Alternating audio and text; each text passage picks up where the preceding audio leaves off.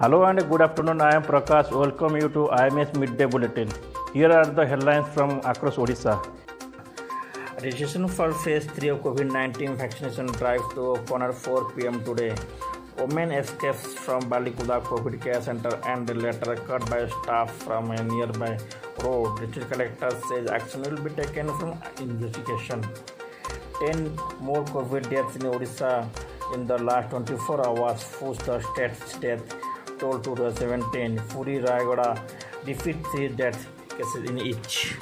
Prime Minister Narendra Modi expresses deep condolence on the demise of distinguished writer from Odisha Padma Shri Manoj Das.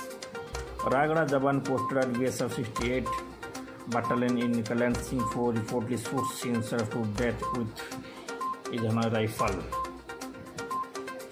From AIMS director Ashok Mapatra calls for a new strategy to curb exploding cases of COVID-19 infection in Katagana Bhubaneswar says gathering in fish market and liquids of main reason behind exponential rise cases. New strategies in need of our hour. That's all of for today. Have a good day.